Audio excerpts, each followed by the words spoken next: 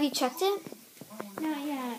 Whenever she attacks and when she's done, her, her dimples grow or get bigger or stay the same, and her dimples are growing.